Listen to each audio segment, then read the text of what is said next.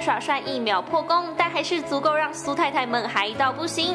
她为了新剧到台北举办宣传活动，被拱撩粉，让她好害羞。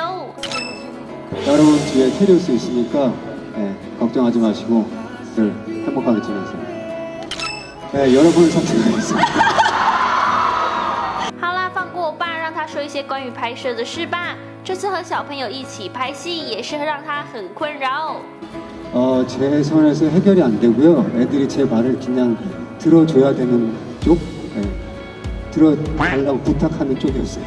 果然小朋友很难控制啊，欧巴辛苦了。而最后，对于粉丝们的支持，我们大叔欧巴也表达了他真诚的感谢。 이렇게 올 때마다 먼저 이렇게 따뜻하게 응원해주셔서 너무나 감사드리고요. 그리고 오래간만에 드라마로 인사드렸는데 앞으로도 이렇게 보시는 기회가 많았으면, 많았으면 좋겠고요.